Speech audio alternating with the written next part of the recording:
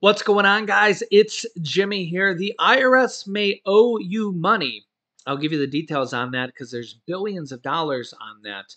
Also, there's massive, massive shipping problems here happening right now on the West Coast as basically the ports are shutting down because of a huge labor dispute, which could, could cause and is cause supply chain problems.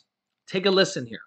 This morning at West Coast ports, where everyday products arrive and are then shipped across the country, there's growing concern dock workers may not show up to work again, creating a potential supply chain slowdown. Over the last four days, some of the nation's busiest ports have sat idle as the International Longshore and Warehouse Union battles the Pacific Maritime Association over a new contract.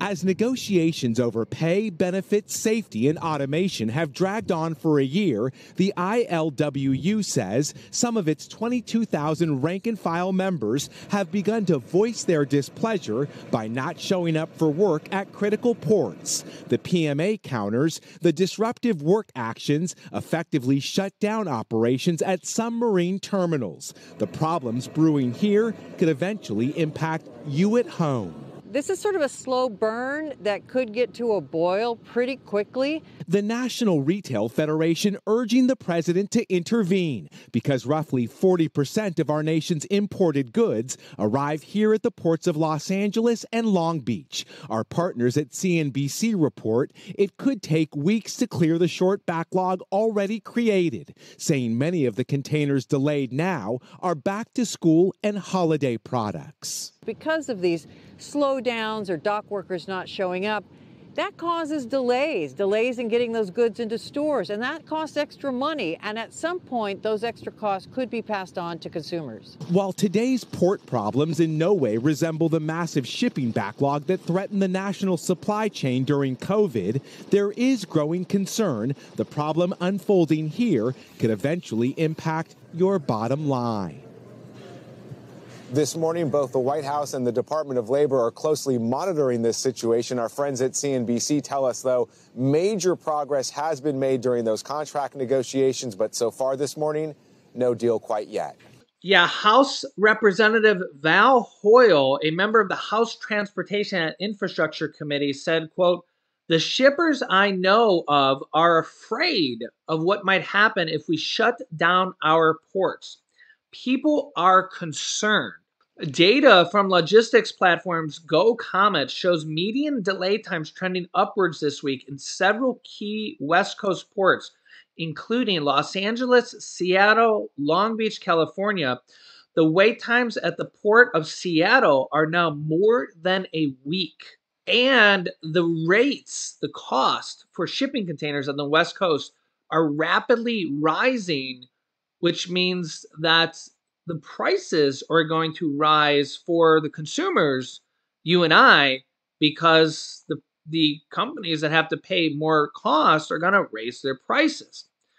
Quote, container rates for importing 40 foot containers to the United States West Coast over the past week have jumped 20% week over week, likely as a result of the anticipated congestion at the port. This follows a dramatic lull in rates after last year's high. Now, I know what kind of happens because I've sold products on Amazon for years and I talk to a lot of big sellers and I just kind of know how the industry is because I, you know, frequent the forums and I just know how Amazon sellers are. When rates dip a little bit, sellers tend to not lower their prices a little bit because, you know, they tend to have like, you know, certain pricing like you know, fourteen ninety nine, nine ninety nine, twenty five ninety nine, etc. And they'll adjust their price upward when shipping costs go up because you know they can't be unprofitable. It's just common sense. It's business 101. But if shipping prices go down a little bit, well, then they might make an extra dollar or something like that per unit or something like that, right? But if shipping prices go up, they have to raise their prices because they can't be you can't sell product for unprofitable. You can't lose money on every single unit, right? If shipping prices go down, well, you can make a little bit more money on each unit. That's great, right? I mean, business is business. You have to make money, right? So that's that's the kind of problem that people don't understand. And when the Trump tariffs went in in place, what that really did is that basically added an extra tax on specific products uh, being imported into the United States.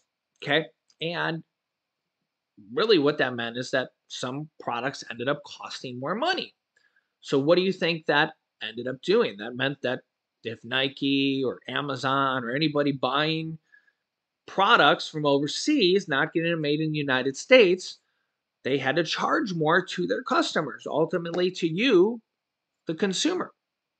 The other option was to get it made in the United States, which was typically double the cost or more.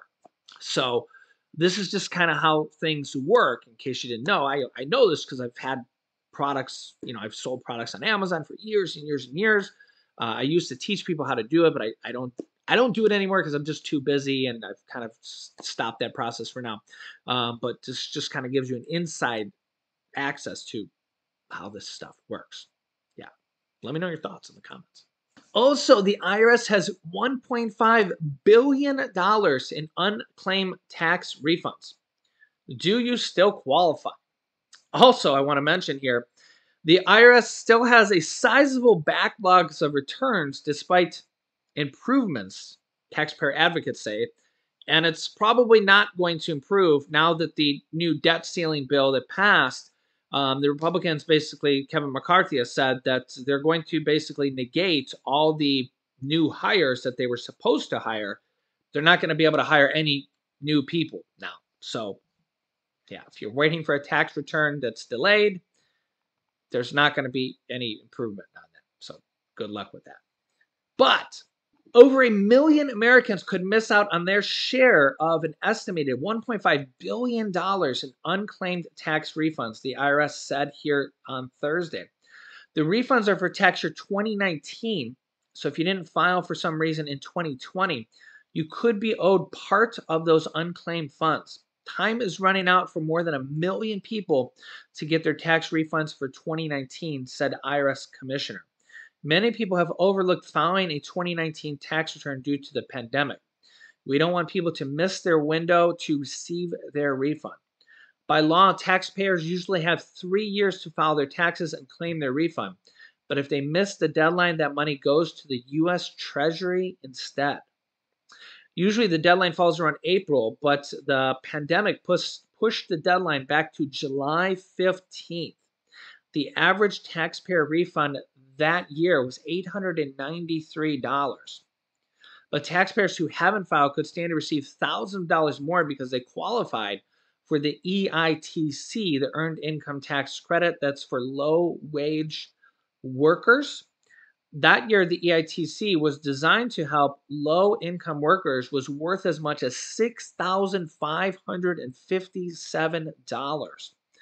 Uh, you can Google that uh, EITC, Earned Income Tax Credit, if you want to see if you were eligible for it.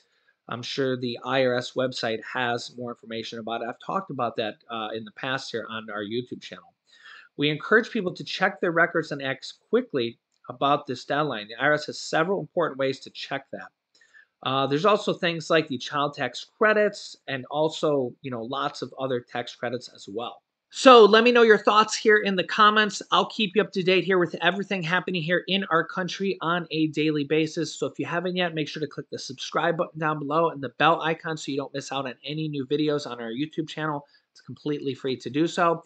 And thank you so much for liking and share these videos here. Uh, it really helps out our YouTube channel and anybody that needs to hear this information. Here's some videos that you should watch next. There's a red alert right now for millions of Americans, and there's a really big story here going on at Costco that you probably need to hear. So click on one of those videos next. Thanks for watching, guys, and I'll see you in the next video.